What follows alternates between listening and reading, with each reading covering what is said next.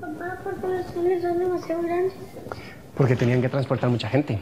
Además de eso, también llevaban mercadería, muchos otros cargamentos para los departamentos. No, no, no lo creo, no puedes andar solo por ahí. Javier. Omar. que bro. ¿Cómo estás? Bien, bien. Él es Campeón. Diego. Salud, compañero. ¿Cómo estás? Te traje los documentos que necesitabas. Qué bueno, buenísimo. Sí, buenísimo. aprovechando que te quedas hasta tarde por acá. Diego, ¿qué pasa? ¿Me puedo quedar viendo los trenes ahí? Perdona, Omar. Es la primera vez que viene y tiene curiosidad. Quiere ir a ver los trenes. ¿Hay algún problema con eso? No, para nada. ¿Seguro que querés ir? Está oscuro todo. ¿No te da miedo? Un poquito. Bueno, entonces yo creo que vas a necesitar esto. Gracias. Con cuidado, Diego. Dale, pasa. Gracias. Permiso.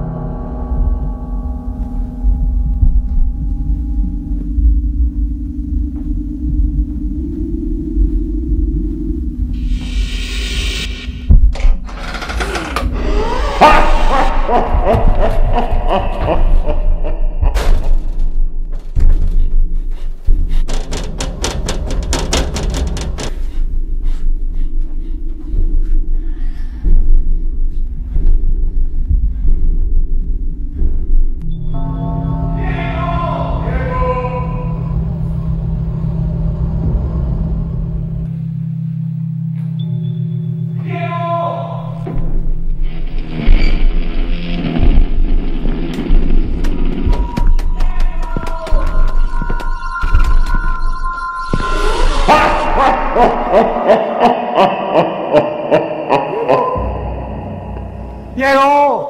Diego.